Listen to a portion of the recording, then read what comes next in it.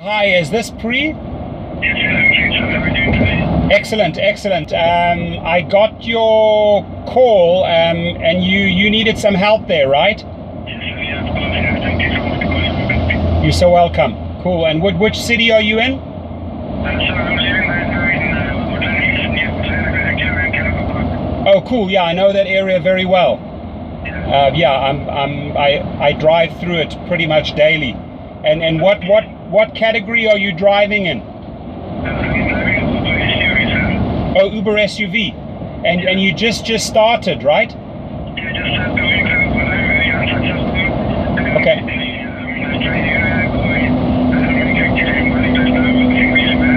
Okay. Okay, so I mean, it, it's not a it's not a reason to stress out yet. You obviously just just started a new category, but um, can I ask you what other category? What car is it? Uh, what car?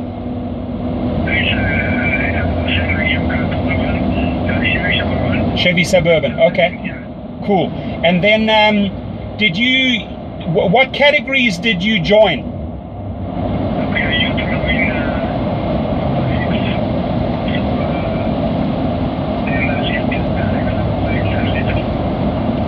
So for the SUV, what what categories did they put you in? They put you in SUV. What else?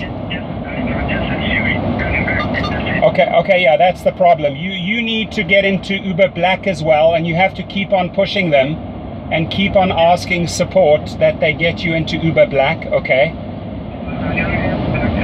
Oh, you do. Okay. And then the other category uh, you could ask, and and you will be busy, is XL, Uber XL. Okay. Um, I, I have some of my cars in in all three, in SUV, Black, and XL. Now here's the thing: when a person, a passenger who orders a vehicle, and they look at the screen and they see, okay, I want to order an Uber SUV, right? Um, I see there, yes, there's one very close to me, but if they if they really know what they're doing and they want to save money, they move that little they move their finger on the screen over to XL. Now, if the same car shows up as XL and SUV, guess what? They are ordering an XL because they want a cheaper price. So this is this is what's happening in a lot of cities is that because the guys are now in XL and SUV, you more or less are forced to be in XL as well. Otherwise, you're missing out on all those trips. You you know what I mean?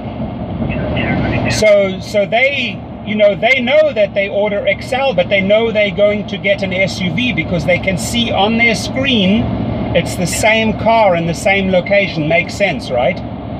So that's why that's why it's crucial that you get into the XL category as well. Now, in LA, you're going to be very very busy with XL, but there are also 70 to 80 percent of the passengers that don't know that trick, okay, and they will order SUV and they will order black. Now, now you know I, I can gladly meet with you next week, but what I can tell you is you need to go on all the websites, the Forum, the Rose Bowl, the Staples Center, the Greek Theater, the Amphitheater, all those big venues, and they, they're massive. They can take 10 to 60,000 people, right? You need to see what their schedule is, like what the events are. So you know what's going on Monday to Monday in Los Angeles. Does that make sense?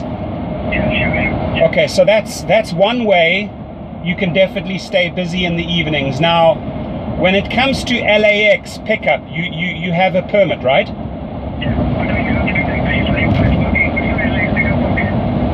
Well, you, you got the you got the LAX permit. Okay, so you you you you can go to the LA uh, airport pickup zone. Um, you know you know where it is, and if, if you don't, you can look it up. You can look it up online.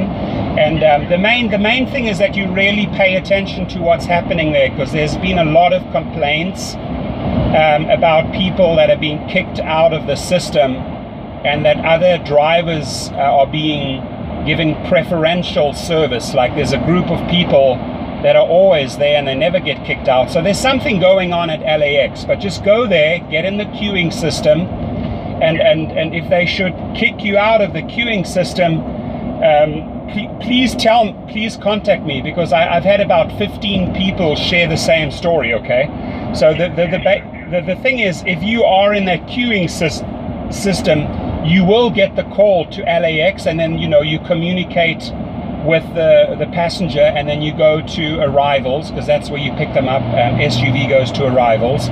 And you've got, you've got your permit in the window, and then you just make sure you know at terminal one, two, three, four, five, six, seven, or terminal B international, and um, you you you know you ask the guy, hey, what are you wearing? Are you wearing you know can tell me oh, like what top or jeans, you know, so I can recognize you. And usually you see them there, they're waving, they recognize you, take them. So LAX is a good way to make money, but you you spend a lot of time waiting for the passenger. You know, I like areas like Malibu on the weekend, like out there by Nobu restaurant, all the way out on PCH.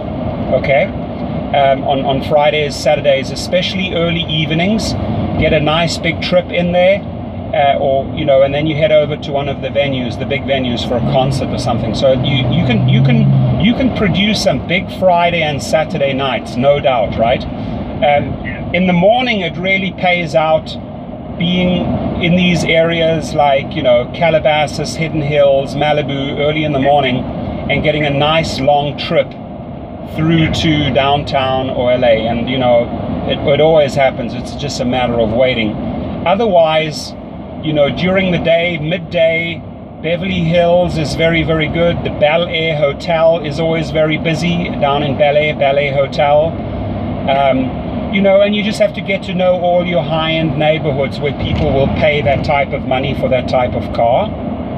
Right, Pacific Palisades, Brentwood, Santa Monica, Beverly Hills, Bel Air, Malibu, Palos Verdes.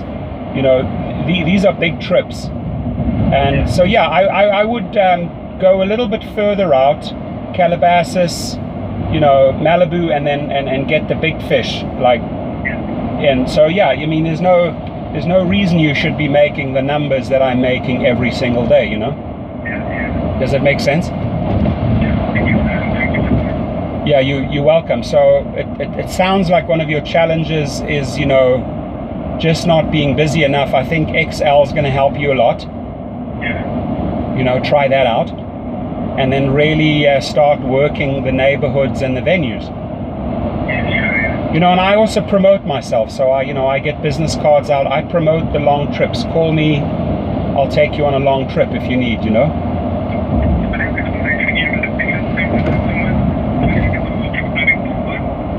um, do i put it through uber yes i put it through uber the, the long ones yeah i just promote it i give them a business card with my picture so they can see who i am you know they can remember me Yeah. and um, so, yeah, try out a few things in the first week. Don't be too st- stressed out. As long as you cover those costs for the first week, you know. I mean, I always say it's like your education week. You know, you have two weeks of education, and then you start you start figuring. But you know, if you if you have any specific questions, you know, you can always reach out to me. I'm just very very busy. I get about 50 to 80 texts and phone calls per day, so I try to get back to everyone. You know, yeah.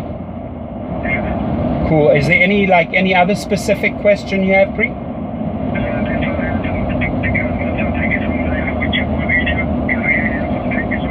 Perfect. I, I really appreciate it. Okay. You can always call me again. Thanks, buddy. Have a great day. Bye-bye. Bye. So you know this this this gentleman uh, just started in LA, fresh, fresh, fresh in SUV, and you know he comes from UberX.